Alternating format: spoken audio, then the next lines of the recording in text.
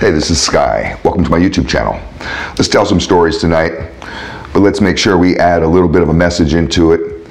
I'll tell you the story about when I fought two guys over one beer. yeah, fought two dudes over one beer. Let's talk about self medication in regards to PTSD. And that's the message. A lot of people with PTSD choose to self medicate with vice, which turns into addiction. They end up pillheads, alcoholics, drug addicts. And it feels like an escape, and maybe it is a temporary escape. And I found myself a major alcoholic. I went through all kinds of drugs, but I liked beer. Well, I did crack for a year every night, used to rob people for it, but beer, alcohol was my thing, beer and wine. I drink a case of beer and a gallon of wine every night, seven, seven nights a week. I used to go to the bars and do a lot of business out of the bars, so I knew the bartenders and bouncers and people. I get into any bar for free. I don't have to wait in line at no place, and the bartender's always giving me free drinks and just tip them. So hanging out at a bar for five hours is not that expensive when you're doing it that way. And I was supporting my habit, no problem. Major alcoholic, and it was all just stemmed from going through a really horrible time. I had had PTSD from some trauma been through a few murders. My father got murdered.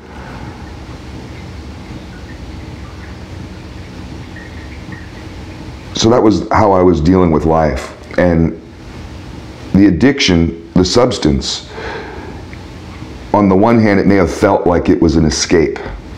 Oh, I'm drunk and I'm not thinking about all my problems. And I was kind of a, a, a happy drunk, at least until a point.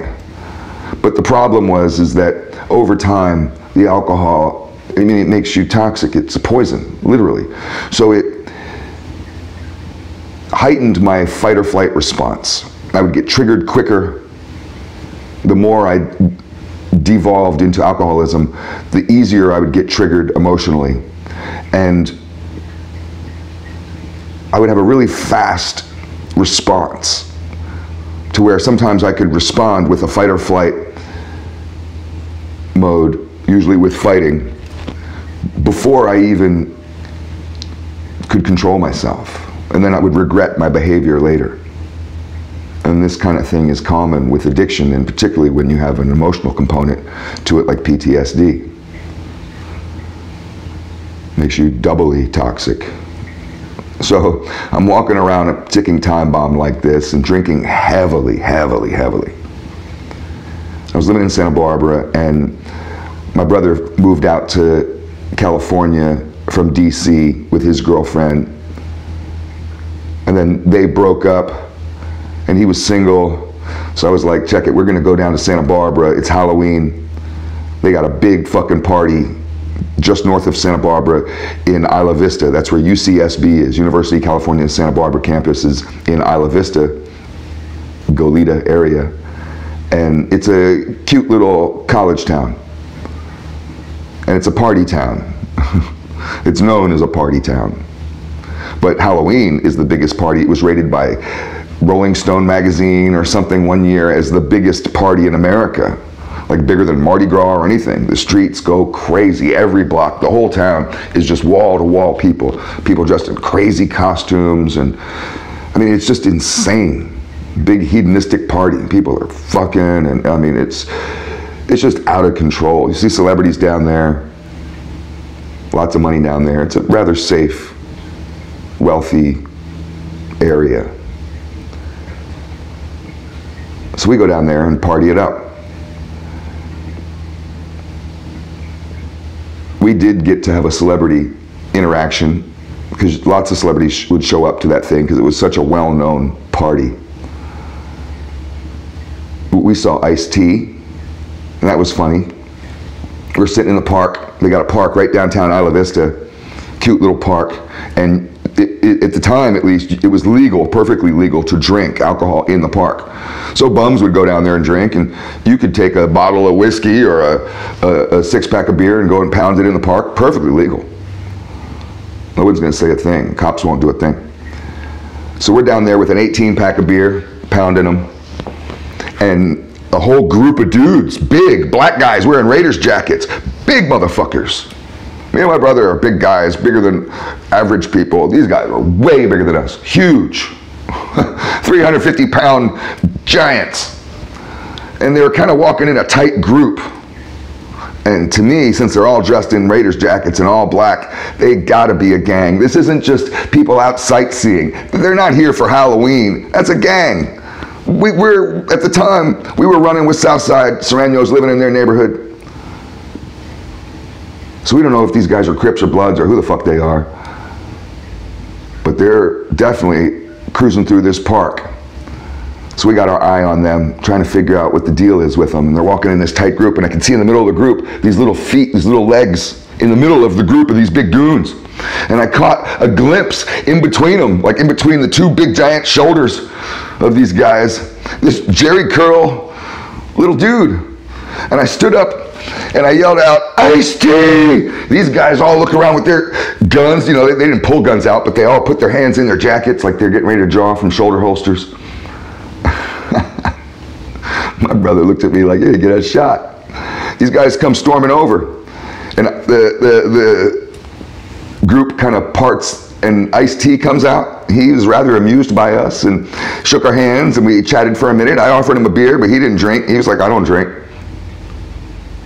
And it was a, a, a great experience. And then they, they, they carried on. Later that night, we were on our second 18 pack. And we had been just drinking all through town, going to keg parties and drinking, but we're going, we, we always had our own beer because you could drink in the streets and try to keep that buzz going. And I'm standing there holding this 18 pack and we're right in the middle of the street over by the beach and there's concerts in people's front lawns. The Red Hot Chili Peppers had played on a cliff top. Uh, they helicoptered in, played like a couple songs and helicoptered out. We missed that shit. We were on a different block, different part of town, but this is the kind of party it was. And uh, we're standing in this block full of people. These two women, my brother was always really good. He's married now, but he was always really successful with women, much more so than me. Women liked him. They liked him. I've had women come up to me and I thought liked me. And I'll be like, hey, and they're like, uh, could you introduce me to your brother? Like, no, fuck you. And he was the kind of guy that he would definitely take your girlfriend. I mean, he never, we never competed over women because we have different types. But I've seen him go up to people at a bar and just be like, you better watch her because I'm going to take that girl from you. She'll be sitting on his lap and he'll be like, that'll be my girlfriend by the end of the night. And sure enough, there's nothing you could do. So these two beautiful women come walking up to him and start talking to him. And I got this beer, and just as I go to walk over, because I was just a little bit of feet away, to go over and try to join their conversation, because this definitely looks like something I want to be in on. Someone snatched the 18 pack out of my hands. And I look over, and it's some dude running that direction with my 18 pack. I could tell it was two dudes. And before I could even think, I mean, rationally, I should have been like, ah, who cares? I came down here to party, I got plenty of money. I don't give a fuck, I'm drunk as shit. Who the hell cares? I'll go buy another one. I don't give a fuck. I'm getting ready to go talk to these beautiful women. No, no, no, I wasn't thinking. I, I was just this volatile wild man. And instantly, I, I, I go bolting off. My brother didn't even know what happened. He's in the middle of talking to me. In the, within like a flash of a second, I'm gone. And there's a thick crowd around, so it's easy to be lost, to be out of sight within a second. And I chase these guys through the crowd. We get through the crowd in, in between two apartment buildings. There's a stairway going up to one and then a ground floor entrance on the other. And all the people are out in the streets. It's just popping off, going crazy. The one guy, he had the 18 pack. He's in front of me. The other guy was, I mean, they were both spread out, but the one guy was right in front of me. I was right on his ass. He turns around, bam, I got him good. And I had the momentum just running faster at him, and he turned around and stopped. And oh, I clocked him. It was just a lucky, really good lucky punch. Flattened this guy. He drops the 18 pack. His homeboy, who's with him, the beer thieves, he comes running at me like from the side. I turn around and I get him. I didn't drop him or flatten him like the other dude, like his friend. But I, I clocked him good, right in his fucking face. Good punch. They both run up into the up, up the stairs and into the building, and I didn't feel like chasing them in the building. 18 pack sitting on the ground. My knuckles on one hand are uh, swollen because I didn't hit the guy right, like an idiot. So I, I mean, I didn't break knuckles, but they're swollen.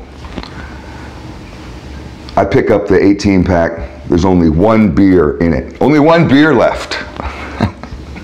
I felt so stupid. I just fought two guys over one beer. And I get back, it took me a minute to get back to where I was and to find my brother because he was just standing in the middle of the crowd like, what the hell happened? And he talked to the two women for a, a minute and then they strolled on. And he was pissed and he was just like, what the hell happened? He's like, I was setting the whole thing up. But I looked over and you're gone. And they were like, well, I guess your friend's not interested. And they kind of moseyed on. And he was like, you blew it, man.